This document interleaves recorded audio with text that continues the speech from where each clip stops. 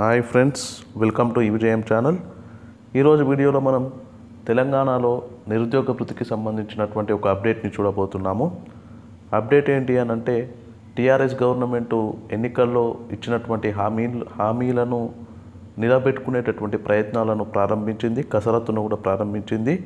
అయితే ఈ నిరుద్యోగ వృత్తికి విద్యార్ విద్యార్హత మరి ఇంటరా డిగ్రీయా పీజీయా దేన్ని తీసుకోవాలని ఏది తీసుకుంటే ఎక్కువ మందికి లబ్ధి చేకూరుతుంది అనేటటువంటి అంశాలను పరిశీలిస్తున్నట్లు సమాచారం.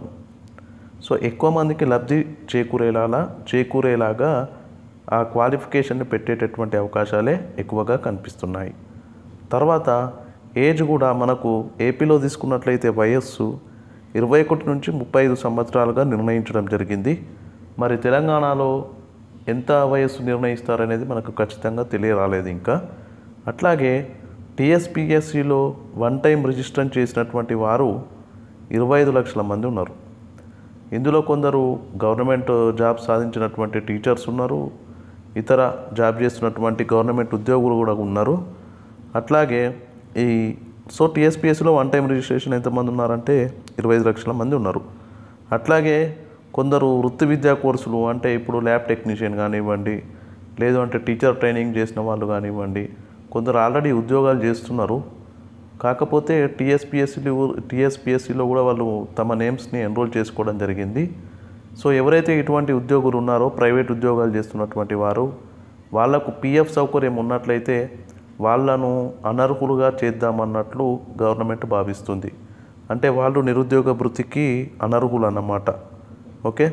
అట్లనే వివిధ రాష్ట్రాలలో మరి ఏ విధంగా అమలు చేస్తున్నారో తెలుసుకునేటటువంటి ప్రయత్నం కూడా చేస్తుంది ప్రభుత్వము. సో మనం ఒకసారి అబ్జర్వ్ చేద్దాం ఏపీలో ఏ విధంగా నిరుద్యోగ వృత్తి నడుస్తుంది అనేది. సో ఏపీలో తీసుకున్నట్లయితే విద్యార్హ విద్యార్హత మాత్రం ఓ డిగ్రీ పెట్టడం జరిగింది. సో యువనేస్తం పేరిట ఆంధ్రప్రదేశ్లో ప్రతి నెల రూపాయలు వేరు వెయ్యి రూపాయలు నిరుద్యోగ వృత్తిగా ఇవ్వడం జరుగుతుంది. సో బీపీఎల్ కుటుంబాలకు అట్లాగే స్వయం ఉపాధి పథకాల ద్వారా ఈ బీపీఎల్ కుటుంబాలంటే బిలో పవర్టీ లైన్. ఉన్నటువంటి వారు దీనికి అర్హులు. ఓకే?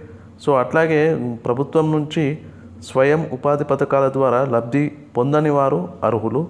అట్లాగే వయస్సుని ఇరవై ఒకటి నుంచి ముప్పై ఐదు సంవత్సరాలుగా నిర్ణయించడం జరిగింది.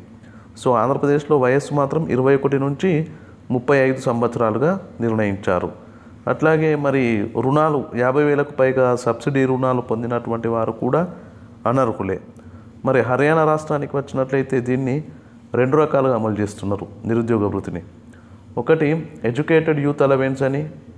దీని కింద ఇంటర్ ఎవరైతే పూర్తి చేసినారో వాళ్ళకి రూపాయలు తొమ్మిది వందలని నిరుద్యోగ వృత్తిగా ఇవ్వడం జరుగుతుంది అక్కడ. అట్లాగే డిగ్రీ పూర్తి చేసినటువంటి వారికి పదిహేను వందలు పీజీ పూర్తి చేసినటువంటి వారికి మూడు వేల రూపాయలను నిరుద్యోగ వృత్తిగా అందించడం జరుగుతుంది. హిమాచల్ ప్రదేశ్లో తీసుకున్నట్లయితే నిరుద్యోగులకు వెయ్యి రూపాయలు నిరుద్యోగ వృత్తిగా ఇవ్వడం జరుగుతుంది. అట్లాగే వికలాంగులకు పదిహేను వందల రూపాయలను అక్కడ నిరుద్యోగ వృత్తిగా ఇవ్వడం జరుగుతుంది. సో మరి ఏ ఏ రాష్ట్రాలలో ఏ విధంగా అమలు చేస్తున్నారు నిరుద్యోగ వృత్తిని? దాన్ని పరిశీలించేందుకు కూడా అధికారులు సమాయత్తమైనట్లు తెలుస్తుంది. సో మొత్తానికి ఏప్రిల్ లేదా మహా అంటే జూన్ జూన్ లోపట్ల నిరుద్యోగులకు నిరుద్యోగ వృత్తి అందేటటువంటి అవకాశాలు ఎక్కువగా కనిపిస్తున్నాయి కాబట్టి so get ready to apply for నిరుద్యోగ వృత్తి. సో ఆన్లైన్లో ఎంప్లాయ్మెంట్ కార్డ్ కోసం అప్లై చేసుకొని రెడీగా ఉండండి. సో ఇది ఈ రోజటి వీడియోలో ఉన్నటువంటి update. Thank you for watching my video